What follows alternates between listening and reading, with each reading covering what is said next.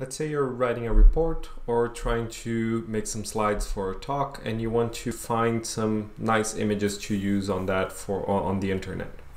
Um, so it's not really appropriate to use any image you find on the internet because you don't own the copyrights for those and most of them aren't available for, for free use.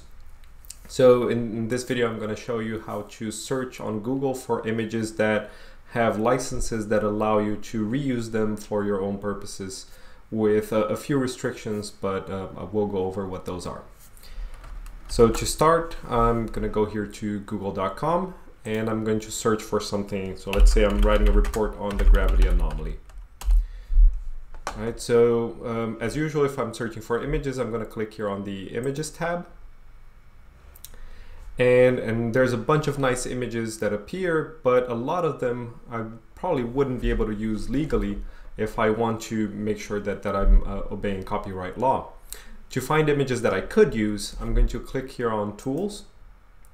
And then under usage rights I'm going to select Creative Commons licenses.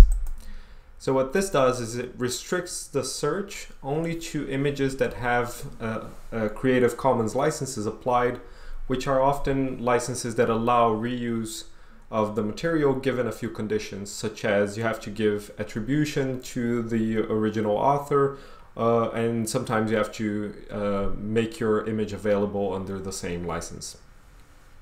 So for example, let's say I want to use this uh, EGM 2008 gravity anomaly figure from uh, Wikimedia Commons. And Wikimedia Commons is a great source for finding uh, open, open licensed content. All right, so let's click on that and let's see where that takes us. Okay, so now I can download the original file if I want, uh, either as an SVG uh, or as a, a PNG in various resolutions. And the important information is down here where there's the author of this work. So in this case, it's a user called um, Kavit. And these are the license restrictions. So in this case, uh, it says that the copyright holder of this work publishes it under the license Creative Commons Attribution Share Alike, or um, most commonly referred to as CC BY SA.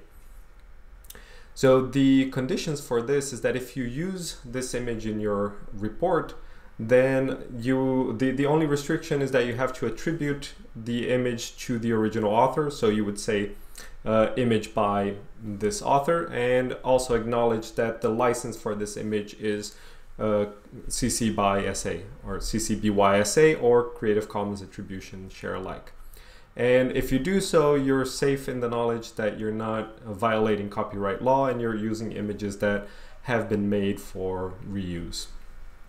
And on that note, if you make your own images and you feel like they might be useful for other people, sharing them on a site like Wikimedia Commons and assigning them an open license like CC BY SA or just a Creative Commons attribution, which doesn't require uh, sharing the image, the a modified image with the same license. That that is something that that is good to do, and it, it helps everyone. Okay, I hope you find found this useful, and I'll see you in the next video.